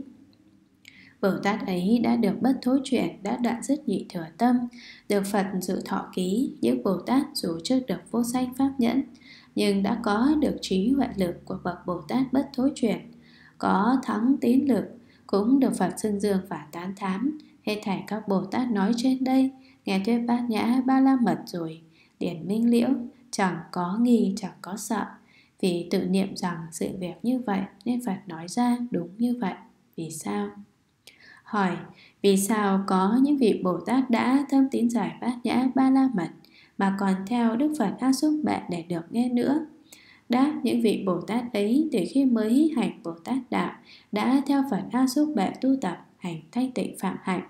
Những Bồ Tát ấy thường chẳng rời Phật A Xúc Bệ để học theo hạnh của Ngài nên được tiến lực và trí huệ lực của bậc Bồ Tát bất thối truyền. Dù chưa được vô sanh pháp nhẫn, nhưng cũng được Phật xưng dương và tán thán. Phật dạy rằng những người nghe bát nhã ba la mật mà còn được đại lợi ích như vậy huống nữa là người tín thọ đúng như thuyết tu hành bát nhã ba la mật những người như vậy sẽ được nhất thiết trùng trí sẽ được vô thượng bồ đà. ngài tu bồ đà hỏi nếu hết thầy pháp đều là không tướng đều là bất khả đắc thì vì sao nói bồ tát chú trong như tức là chú trong nhất thiết trùng trí phật dạy Bồ Tát chú trong như mà như là không, chú trong như là chú trong rốt giáo không. Bởi vậy nên nói Bồ Tát chú trong như là chú trong nhất thiết chủng trí. Ngài tu Bồ Đề lại hỏi trừ như ra thì chẳng có pháp nào khả đắc cả. Như vậy thì ai chú trong như sẽ được vô thượng Bồ Đề, thật là vô lý vậy. Phật ấn chứng lời nói của tu Bồ Đề như là không, vì trong như chẳng có các tướng sanh chú dị diệt. Nếu chẳng có các tướng sanh chú dị diệt, thì chẳng có ai chú trong như. Chẳng có ai chú trong như rồi sẽ được vô thượng bồ đề. Chẳng có ai chú trong như rồi sẽ thuyết pháp vậy. Như đã là bất khả đắc rồi Huống nữa là chú trong như Để được vô thượng bồ đề để thuyết pháp. Lúc bấy giờ Ngài Thích Đại Hòa Nhân do còn chấp bát nhã ba la mật là có định tướng. Nên khi nghe Phật và Ngài Tu Bồ Đề nói bát nhã ba la mật là vô tướng là bất khả đắc, liền bạch Phật rằng, thật là hy hữu. Bát nhã, ba la mật rất thậm thầm. Bồ Tát làm việc rất khó làm, Đó là chú trong bát nhã, ba la mật Mà muốn được vô thượng bồ đề. Vì sao? Bát nhã, ba la mật là như, Mà như là rốt ráo không? Ở trong như chẳng có người chú, Chẳng có người chú, Rồi sẽ được vô thượng bồ đề. Chẳng có người, rồi sẽ thuyết pháp. Chẳng có chúng sanh để độ, Chẳng có việc độ chúng sanh. Chẳng có việc đưa chúng sanh vào niết bàn vì hết thảy các pháp tướng là thường trú là như tướng vậy. Bồ Tát nghe như vậy mà chẳng nghi chẳng sợ là việc rất khó làm. Bồ Tát tùy biết rõ hết thảy các pháp rốt ráo là không mà vẫn cầu vô thượng Bồ Đề, vẫn tinh tấn tu tập bát nhã ba la mật chẳng ngưng nghỉ, thật là việc rất khó làm vậy. Ngài Tu Bồ Đề nói với Đề Thích nếu các pháp đều là không, là vô sở hữu, thì chẳng có gì để nghi, chẳng có gì để sợ. Như vậy thì chẳng có gì gọi là việc khó làm cả. Vị đế thích hoan hỉ giấy niệm rằng, Ngài tu bồ đề ưa nói pháp không? Những gì Ngài nói ra đều hy nơi pháp không? Tùy nói có sắc, có các sự việc, Mà pháp nghĩa đều dẫn đến không? Cho nên dù có người đến vấn nạn Cũng chẳng thấy có gì ngăn ngại cả. Vì sao? Vì pháp không cũng là không. Nếu có đạt nghi vấn về không Thì cũng, tức là đã phá pháp không rồi vậy. Bồ Tát biết rõ như vậy nên ở đây có cũng như ở đây không đều đều vô ngại. Ví như bắn tên lên không trung thì mũi tên chẳng có bị ngăn ngại. Đến khi sức đẩy yếu hẳn thì mũi tên mới rơi trở lại mặt đất. Thế nhưng đó chẳng phải là vì hư không đã cùng tận vậy. Cũng như vậy, Ngài Tu Bồ Đề nói Pháp chẳng có gì ngăn ngại. Khi các nhân duyên của sự biện thuyết đã xong, thì Ngài liền dứt chẳng nói thêm nữa. Thế nhưng đó chẳng phải là Pháp đã tận cùng rồi vậy. Trên đây mũi tên bắn lên không trung Dụ cho mũi tên trí huệ của Ngài Tu Bồ Đề thâm nhập vào Pháp không? Nếu có người hướng mũi tên vào vách tường, Thì mũi tên sẽ bị vách tường ngăn ngại, Chẳng xuyên qua được. Nếu chẳng đi xa hơn, Nên chẳng đi xa hơn được. Cũng như vậy, Người có lợi trí mà có tà kiến chấp Thì vẫn bị các tà kiến đó ngăn ngại. Chẳng sao thông đạt được các pháp. Ngài tu Bồ đà thường trú trong Pháp không chẳng có gì ngăn ngại nên thông đạt được Pháp vô ngại vậy. Phẩm thứ 66 Trúc Lụy, Phó Trúc Kinh Lúc bấy giờ Ngài Thích Đề Hoàn Nhân Bạch Phật, Bạch Thế Tôn, con đáp như vậy, Có phải là tùy thuận theo Pháp chăng? Có phải là tránh đáp chăng? Phật dạy Này Kiều Thi Ca, chỗ ông đáp đó đều tùy thuận theo Pháp cả Ngài Thích Đề Hoàn Nhân Bạch Phật Bạch Thế Tôn thật là hy hữu. Chỗ nói của Ngài Tu Bồ Đề là không Là vô tướng, là vô tác Là bốn niệm xứ dẫn đến là vô thượng Bồ Đề. Phật dạy, này kiểu thi ca Ông Tu Bồ Đề là vị tỷ kheo thường hành Pháp không? Nên biết rõ đà ba la mật Dẫn đến bát nhã ba la mật đều bất khả đắc. Huống nữa là người hành đàn ba la mật dẫn đến hành bát nhã ba la mật. Biết rõ bốn niệm xứ dẫn đến tám thánh đạo bất khả đắc. Huống nữa là người hành bốn niệm xứ dẫn đến hành tám thánh đạo biết rõ thiền giải thoát tam muội bất khả đắc mười phật lực bất khả đắc bốn vô sở ý bất khả đắc bốn vô ngại trí bất khả đắc đại từ đại bi bất khả đắc mười tám bất cộng pháp bất khả đắc vô thượng bồ đề bất khả đắc nhất thiết trùng trí bất khả đắc hướng nữa là người hành các pháp ấy biết rõ như lai bất khả đắc vô sanh pháp bất khả đắc 32 tướng tốt bất khả đắc 80 vẻ đẹp bất khả đắc Hướng nữa là người đắc các pháp ấy Vì sao? Này kiểu thi ca Vị tỷ kheo tu bồ đề Ở nơi hết thảy pháp Thường hành ly, hành vô sở đắc Hành không, hành vô tướng, hành vô tác Này kiểu thi ca Thế nhưng chỗ hành pháp của tỷ kheo tu bồ đề Nếu đem so sánh với chỗ hành pháp của Bồ Tát Ma Ha Tát thì ở trong trăm phần ngàn phần muôn ước phần chẳng bằng được một dẫn đến chẳng có toán số thí dụ nào có thể dùng để sánh được vì sao vì trừ công hạnh của Phật ra thì công hạnh của Bồ Tát Ma Ha Tát so với công hạnh của hàng Thanh Văn và Bích Chi Phật là tối tôn, tối diệu, tối thượng. Vậy nên, Bồ Tát muốn độ hết thảy chúng sanh, muốn có công hạnh tối thượng trong hết thảy chúng sanh, thì phải hành bát nhã ba la mật. Lúc hành bát nhã ba la mật, Bồ Tát vượt qua hàng thanh văn và bích chi Phật, nhập vào Bồ Tát vị, được đầy đủ các Phật Pháp, được nhất thiết trùng trí, đã giải các phiền não tập khí dẫn đến thành tựu Phật đạo. Lúc bấy giờ trong chúng hội, chư thiên có trời đau lợi, đem hoa mạn đà la tán Phật và chúng tăng, lại có 800 vị tỷ kheo từ tà đứng dậy đem hoa cúng dường Phật, trịch vai quỳ gối chấp tay bạch Phật rằng chúng con nguyện hành vô thượng hạnh. Là hạnh mà hạng thanh văn và bích chi Phật chẳng có thể hành được. Phật biết rõ tâm niệm của các tỷ kheo này liền mỉm cười.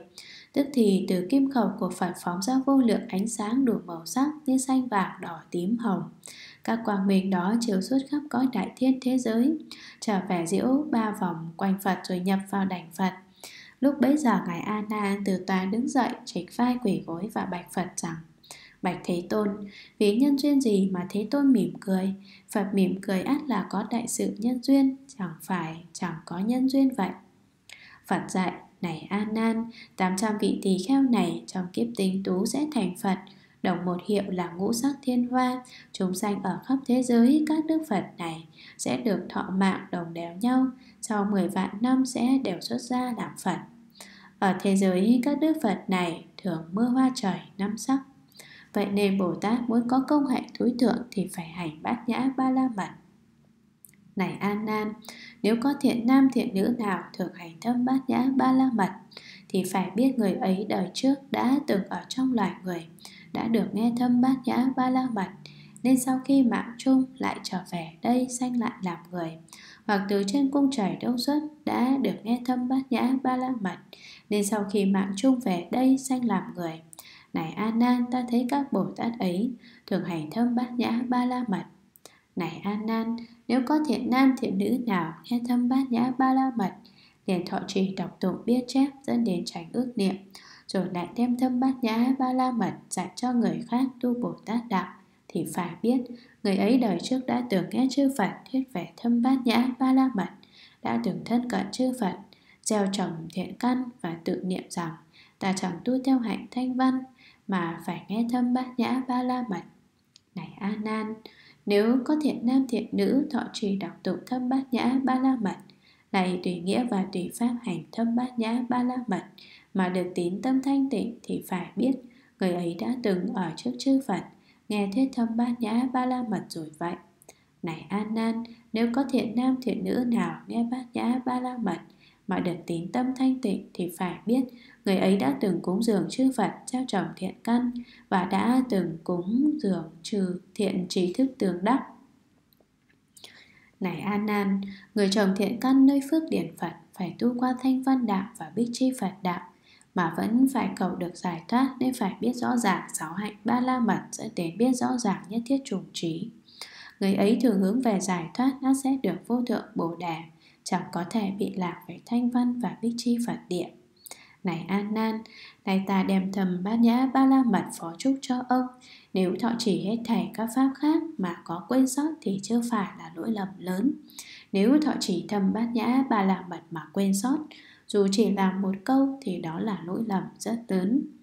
Bởi nhân duyên vậy nên này ta đem thầm bát nhã ba la mật này chúc lụy cho ông. Ông phải khéo thọ trì đọc tụng này An Nan, nếu có thiện nam thiện nữ nào thọ trì đọc tụng thâm bát nhã ba la mật thì phải biết đó là người thọ trì vô thượng bồ đề của chư Phật trong ba đời. Này An Nan, người mến thích Phật, chẳng muốn ra lìa Phật phải là người mến thích thâm bát nhã ba la mật, chẳng muốn xa lìa bát nhã ba la mật, dẫn đến một câu trong kinh bát nhã ba la mật cũng chẳng để quên sót. Này An Nan, ta có nhiều nhân duyên để chúc lụy cho ông, nhưng ta chỉ lược nói, ta là Thế Tôn thì bát nhã ba la mật cũng là Thế Tôn. Này a Nan, nay giữa hết thảy thế gian, trời người và Atula, ta chúc định cho ông. Những ai chẳng muốn xa lìa Phật, chẳng muốn xa lìa Pháp, chẳng muốn xa lìa Tăng, chẳng muốn xa lìa vô thượng Bồ Đề của ba đời chư Phật, thì phải cẩn thận chớ xa lìa bát nhã ba la mật này A Nan, đây là chánh pháp mà ta truyền dạy cho hàng đệ tử. Nếu có thiện nam thiện nữ nào thọ trì đọc tụng thuyết giảng dẫn đến tránh ước niệm thâm bát nhã ba la mật, rồi lại vì người khác rộng nói nghĩa khai thị phân biệt khiến họ dễ hiểu, thì phải biết người ấy mau được vô thượng bồ đề, mau gần nhất thiết chủng trí. Vì sao?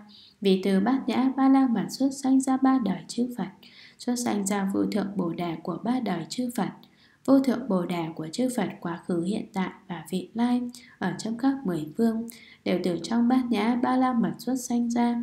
Bởi vậy nên muốn được vô thượng bồ đề, bồ tát phải học sáu pháp ba la mật.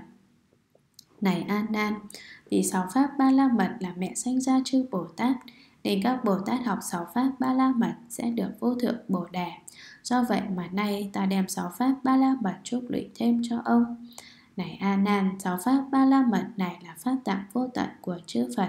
Ở hiện tại trong các mười phương, kỳ thế pháp chư Phật đều y trong pháp tạng này mà nói ra.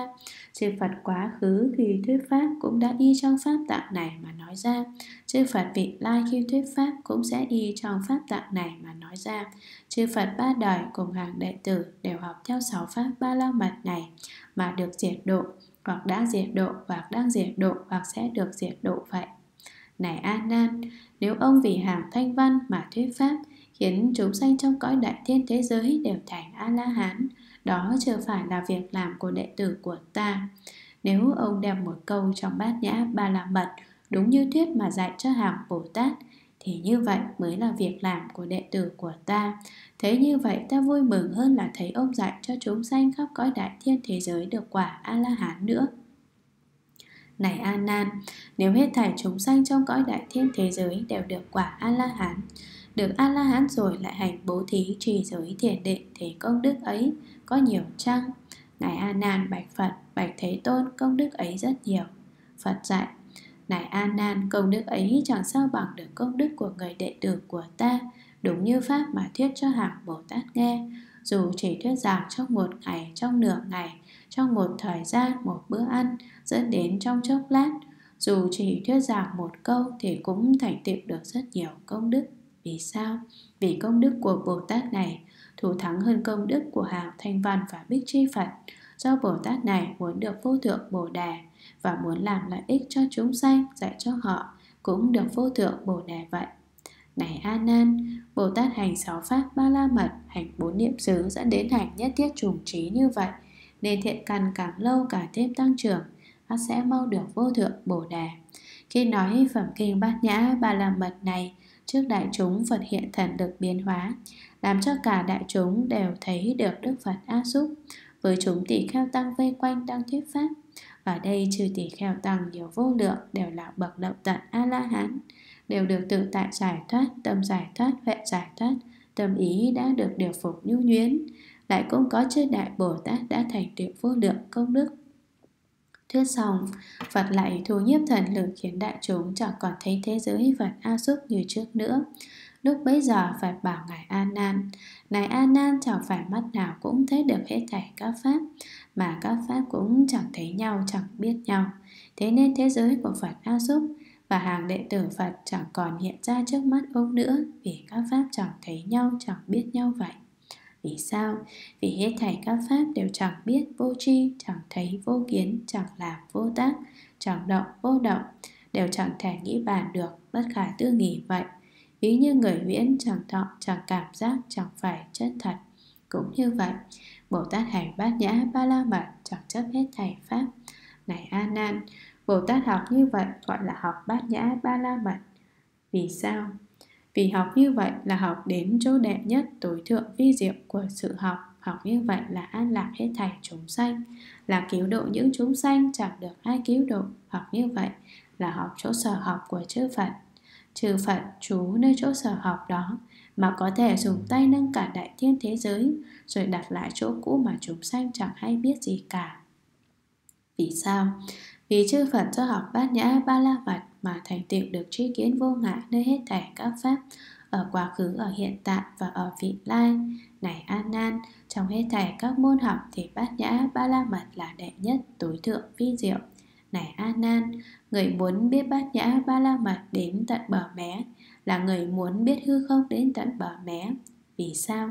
Vì bát nhã ba la mật là vô hạn lượng nên chẳng có danh từ ngữ ngôn nào có thể diễn đạt được. Bát nhã ba la mật là vô hạn lượng Còn danh từ ngữ ngôn đều là hạn lượng vậy. Ngài A Nan bạch Phật, bạch Thế Tôn Vì sao bát nhã ba la mật là vô hạn lượng? Phật dạy này A Nan Vì bát nhã ba la mật là vô tận nên là vô hạn lượng. Vì bát nhã ba la mật là ly nên là vô hạn lượng. Này A Nan chư Phật quá khứ do học bát nhã ba la mật mà được độ. Nên bát nhã ba la mật là vô tận. Chư Phật hiện tại và vị lai cũng do học bát nhã ba la mật mà đang được độ, sẽ được độ nên bát nhã ba la mật là vô tận. Này A Nan, như hư không chẳng cùng tận, bát nhã ba la mật cũng chẳng cùng tận. Năm ba la mật kia, dẫn đến nhất thiết trùng trí cũng chẳng cùng tận. Vì sao? Vì hết thầy pháp đều là vô danh mà đã là vô danh thì cũng tức là vô tận vậy lúc bấy giờ Phật hiện tướng lưỡi rộng dài trùm cả mặt và bảo ngài A Nan rằng từ nay ở giữa bốn chúng ta sẽ thuyết giảng rộng rãi bát nhã ba la mật Khai thị phân biệt khiến tất cả đều hiểu được dễ dàng. Vì sao? Vì thầm bát nhã ba la mật rộng nói hết thảy các pháp tướng. Người cầu thanh văn đạo dẫn đến người cầu Phật đạo Đều cần phải học Và học ở trong đó tất cả đều được thành tựu. Này A Nan, thầm bát nhã ba la mật này nhiếp hết thảy các tự môn. Hành thầm bát nhã ba la mật sẽ vào được các đà la ni môn. Bồ Tát được các đà la ni môn rồi sẽ được biện tài vô ngại Này an Nan, bát nhã ba la mật là diệu pháp của chư Phật trong ba đời. Bởi vậy nên ta vì ông giảng dạy rõ ràng rằng nếu có người nào thường thọ trì đọc tụng biên chép thâm bát nhã ba la mật này thì phải biết đó là người thường thọ trì vô thượng bồ đề là pháp tạng của chư Phật trong ba đời. Này A Nan, ta nói bát nhã ba la mật là đôi chân của người tu hành. Người thọ trì bát nhã ba la mật là người vào được các đà la ni, thọ trì được hết thảy các pháp. Luận Hỏi vì sao vị đế thích hỏi Phật rằng những lời ông đáp có tùy thuận theo pháp có phải là tránh đáp chăng? Vì sao Phật dạy chỗ vị đế thích đáp đều tùy thuận theo pháp cả? Đáp, vì đấy thích tự niệm rằng mình tuy có nhiều phước đức nhưng vì chưa được lậu tận, chưa khắc biết các pháp lại sợ có lầm lỗi nên đã thưa hỏi Phật như vậy. Hơn nữa, vì trong chúng hội có nhiều Bồ Tát sơ phát tâm, nhiều vị Trừ thiền trừ ly dục còn khởi nghi tâm Lại vì chính bản thân của mình cũng còn có chỗ nghi Nên vị đế thích mới đứng lên thưa hỏi Phật như vậy Phật biết rõ vị đế thích Tuy chỉ mới tu đạo hoàn Tu chưa được nhất thiết trùng trí Nhưng đã nhiều phen theo Phật Nghe thuyết giảng về bát nhã ba la mật Đã từng thọ trì đọc tụng bát nhã ba la mật Nên đã y theo lý trong bát nhã ba la mật mà nói ra. Do vậy mà Phật bảo vị đế tích rằng Chỗ ông đáp đó đều tùy thuận theo chánh pháp Đều đúng theo chánh lý. Ở đây nên biết rằng có ba thứ huệ Đó là văn huệ, tư huệ và tu huệ. Ngài đã được văn huệ và tư huệ Là người đã bình liễu được các pháp Nên có thể cùng người tu huệ Pháp đàm vậy Ví như người đi thuyền theo dòng nước Dù chẳng có nhiều sức cũng đã có thể đi mau hơn người đi bộ. Cũng như vậy, ví như Ngài A Nan tuy chưa ly dục, chưa vào được thâm thiền định, nhưng do đã có đầy đủ văn huệ và tư huệ, nên thường thưa hỏi Phật về nghĩa lý thâm sâu của bát nhã ba la mật và những lời Ngài nói ra đều tùy tránh pháp chẳng có sai trái. Vị đế thích bạch Phật trong hàng đại đệ tử của Phật, Ngài Tu Bồ đà là vị đệ nhất không hành, Ngài Tu Bồ đà ưa nói về pháp không, nên chỗ Ngài nói ra đều là không, là vô tướng là vô tác. Khi ngài thuyết về bốn niệm xứ dẫn đến khi ngài thuyết về vô thượng bồ đà ngài đã khéo hòa hợp với rốt giáo không? Phật dạy chẳng phải chỉ ở đời nay mà trong nhiều đời trước thì kheo tu bồ đề đã từng tu pháp không ông tu bồ đề đã do không giải thoát môn mà vào được đạo rồi ông cũng dùng pháp môn ấy mà giáo hóa chúng sanh ông biết rõ giáo pháp ba la mật bất khả đắc ba bảy phẩm trợ đạo bất khả đắc Mười phần lực, bốn vô sở bí, bốn vô ngã trí dẫn đến nhất thiết trùng trí bất khả đắc. Hướng nữa là người hành các pháp.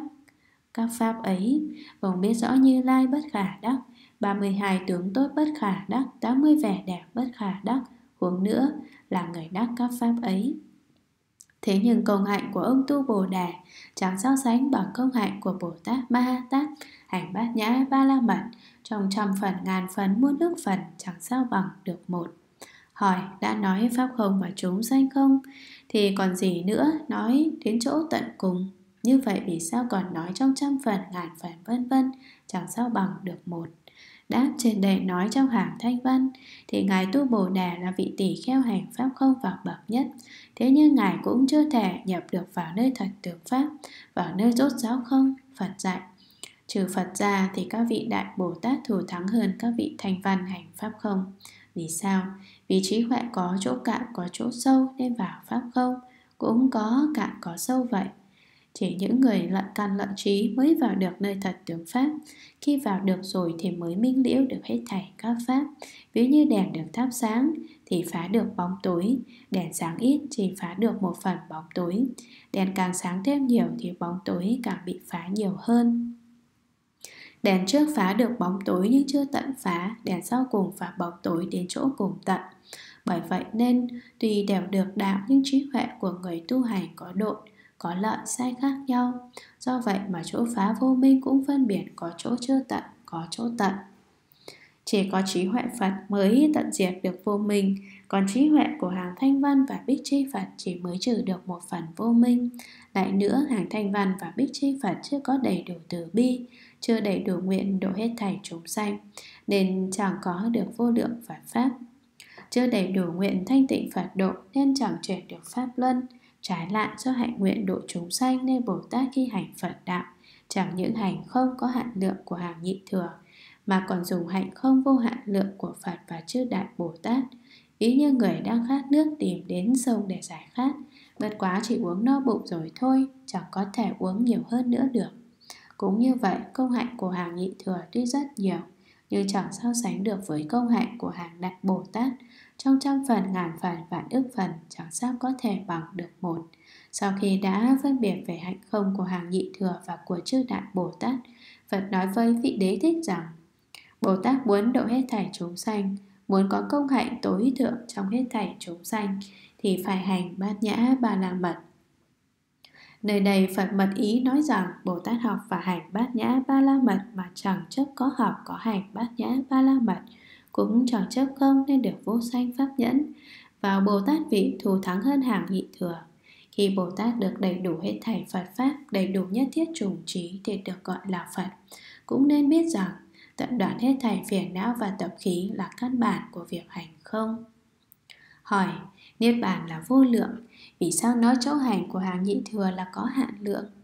Đáp, đây là nói về trí huệ có phần hạn lượng Chẳng phải là nói tánh của các pháp có hạn lượng. Ví như bình chứa chỉ dùng chứa số nước có hạn lượng Chẳng phải là nước trong biển lớn có hạn lượng vậy. Lại nữa, hữu lượng tướng và vô lượng tướng chỉ là những tướng tương đãi giữa các pháp mà thôi Ví như hàng phàm phu. Do chẳng suy lường được về các pháp Nên nói có vô lượng pháp Còn đối với Phật thì các pháp là hữu lượng. Lại ví như thanh văn pháp và bích chi Phật pháp là hữu lượng còn Bồ Tát chủ nơi pháp tánh nên nói Bồ Tát Pháp là vô lượng.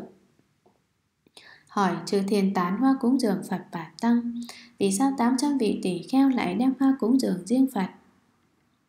Đáp trừ thiền, đem thiền hoa cúng dường Phật và chư Tăng, Các hoa với hương sắc vi diệu này rơi lên trên y của chư vị tỷ kheo Số 800 vị tỷ kheo này phát tâm hành vô thượng hạnh, Nên đã đem các thiên hoa rồi trên y của mình đến cúng dường Phật và bạch với Phật rằng, chúng con nguyện hành vô thượng hạnh, là hạnh rốt giáo không, vô tướng và vô tác bình đẳng độ hết thảy chúng sanh. Phật mỉm cười và dạy 800 tỷ kheo này đều là thiện tri thức của nhau Cùng hành tâm bình đẳng, đời đời cùng tu tập các công đức, Sẽ cùng đem thiên hoa năm sắc đến cúng dường chư Phật sẽ đồng thời được thành Phật cùng một hiệu là ngũ sắc thiên hoa Nhân dịp này Phật nói với Ngài A Nan rằng Bồ Tát muốn có được công hạnh tối thượng thì phải hành bát nhã ba la mật. Nếu có thiện nam thiện nữ nào hành thầm bát nhã ba la mật thì phải biết người ấy đời trước đã ở trong loài người hoặc đã ở cõi trời đâu xuất, đã tưởng nghe thâm bát nhã ba la mật nên sau khi mạng chung mới sanh về đây để tiếp tục nghe thâm bát nhã ba la mật. Vì sao? Vì chúng sanh ở ba đường ác chẳng hành bát nhã ba la mật được. Trừ thiền cõi dục do chấp đắm năm diệu dục lạc Cũng chẳng hành bát nhã ba la mật được. Trừ thiền các cõi sắc và vô sắc, Do chấp thiền vị cũng chẳng hành bát nhã ba la mật được. Loài người vừa thọ khổ vừa thọ lạc, Chẳng phải như chư tiên chỉ toàn thọ lạc. Bởi vậy nên trong loài người có nhiều thuận lợi Để hành bát nhã ba la mật hơn. Những người hành bát nhã ba la mật Thường từ cõi trời đâu xuất sau khi mạng chung, thọ sanh về đây. Vì sao? Vì ở cõi trời đâu xuất thường có các Bồ Tát nhất sanh bổ xứ đến thuyết pháp. Trừ thiền ở cõi trời đâu xuất thì cũng hưởng thọ năm diệu dục lạc. Nhưng vì pháp lực thủ thắng nên có được thiện duyên nghe pháp. Hàng nhị thừa ở các cõi trời khác cũng thường đến cõi trời đâu xuất nghe pháp. Phật dạy Ngài A Nan rằng, nếu có thiện nam, thiện nữ nào cầu Phật đạo mà thường thọ trì đọc tụng dẫn đến tránh ức niệm bát nhã ba la mật lại thường thưa hỏi về bát nhã ba la mật thì phải biết người ấy thường được chư Phật hộ niệm ở đời trước người ấy đã từng theo chư Phật gieo trồng thiện căn chọn chồng, phát tâm nhị thừa người có tín tâm bất hoại có trí huệ thanh tịnh như vậy thì phải biết người ấy đời trước đã cúng dường vô lượng Phật và đã được vô lượng chư Phật và chư thiện tri thức hộ trì. Hỏi Phật là phước điển vô lượng. Người trồng thiện căn nơi phước điển Phật Dù hành thừa pháp nào trong ba thừa pháp Cũng đều đến được niết bàn cả. Ví như trong kinh Pháp Ba nói Người cầm một cành hoa, một nén hương cũng dường Phật Dẫn đến người chỉ biết niệm Nam Mô Phật Cũng đều được Phật độ cả. Như vậy, người hành năm ba la mật kia Chỉ cần quán không là có thể vào Phật đạo rồi. Đâu cần phải thường hành bát nhã ba la mật Là pháp khó hành, khó đắc. Đáp, Phật dạy Ngài A Nan rằng phước điển Phật chẳng phải hư dối, chúng sanh trồng thiện căn nơi đây đều được ba thừa niết bàn. Tuy nhiên, khi tu hành sáu pháp ba la mật, bốn niệm xứ dẫn đến hành nhất thiết trùng trí, thì hành giả phải dùng trí huệ bát nhã ba la mật để quán chiếu các pháp, mới thấu triệt được tánh không của các pháp, vào được thật tướng pháp. Như vậy mới mau được vô thượng bồ đề, mau thoát ra khỏi sanh tử khổ đau. Bát nhã ba la mật có công hạnh tối thượng như vậy, Nên ta phó chúc cho các ngươi phải hành bát nhã ba la mật. Hỏi Phật là đấng vô ngại giải thoát thanh tịnh vi diệu, Chẳng còn có lòng tham, Chẳng có tham đắm bát nhã ba la mật. Như vậy vì sao Phật lại đem bát nhã ba la mật phó chúc cho Ngài A Nan? Tạo như có tham đắm bát nhã ba la mật vậy? Đáp, Trừ Phật vì lợi ích chúng sanh mà xuất thế lại cũng vì chúng sanh nói những điều lợi ích nên chẳng có lỗi lầm gì cả. Vì sao? Vì bát nhã ba la mật tận đạt được các khổ. Bát nhã ba la mật chẳng phải do dùng lời nói mà có thể diễn đạt được thâm nghĩa. Nên Phật mới đem kinh quyển bát nhã ba la mật phó chúc cho Ngài An Nan. Lại nữa, những người có mặt trong chúng hội thấy Phật ân cần phó chúc cho Ngài An Nan như vậy đã tự niệm rằng Phật đã làm xong đại sự mà còn quý trọng bát nhã ba la mật át pháp ấy phải là tôn quý vi diệu nên cả thâm tín bát nhã ba la mật nhiều hơn nữa. Ví như có ông trưởng giả giàu có khi sắp chết, đem tất cả của cải cho các con, nhưng riêng viên ngọc như ý bảo châu thì ông ân cần phó chúc. Viên bảo châu này trong suốt như hư không, nhưng khi đặt trước các vật, lại hiện ra đủ màu sắc vì diệu. Giữ gìn các vật báu khác còn rất khó, huống nữa là giữ gìn như ý bảo châu này nên ông trường giả phải ơn cần phó chúc cho các con vậy. Trong thí dụ này, ông trường giả dụ cho Phật viên như ý bảo châu dụ cho bát nhã ba la mật. Phật phó chúc các ngài A Nan rằng Ông nên giữ gìn bát nhã ba la mật Chớ nên để thất lạc Nếu để mất 12 bộ kinh thì lỗi ấy cũng nhỏ Còn để mất một câu trong kinh bát nhã ba la mật Thì phạm lỗi rất lớn vì sao? Vì bát nhã, ba la mật là mẹ của ba đời, mười phương chư Phật, Khiến người tu hành thâm pháp ấy mau được vô thượng bồ đề. Như trong kinh nói, chư Phật ở cả ba đời đều hành bát nhã, ba la mật Mà thành bậc tránh đẳng tránh giác. Cho nên dù thuyết pháp cho hàng thanh văn, Khiến mọi người đều được A-la-hán, Cũng chẳng bằng được tự mình hành bát nhã, ba la mật Và dạy người hành bát nhã, ba la mật. Hỏi vì sao nói thuyết pháp cho hàng thanh văn khắp cõi đại thiên thế giới, cũng chẳng bằng được dạy cho hàng Bồ Tát hành bát nhã ba la mật, dù chỉ dạy một câu mà thôi. Đáp Dạy pháp thanh văn trong khắp cõi đại thiên thế giới thì cũng chỉ là dạy cho chúng sanh về pháp tự độ, nên chẳng sao có thể bằng được dạy cho Bồ Tát một câu trong kinh bát nhã ba la mật vậy. Vì sao? Vì dạy bát nhã ba la mật là dạy làm Phật khiến chúng sanh được đại lợi ích nên thủ thắng hơn nhiều. Ví như người trồng cây như ý sẽ có được quả như ý. Pháp thành văn chẳng dạy phát tâm đại bi, còn bát nhã ba la mật dạy phát tâm đại bi nên thủ thắng hơn nhiều. Thành văn tu tiểu thừa nhằm tự độ, còn Bồ Tát tu đại thừa nhằm độ tha nên được công đức vô lượng. Ví như hạt kim cương tuy nhỏ bé nhưng có giá trị rất lớn so với các vật báu khác.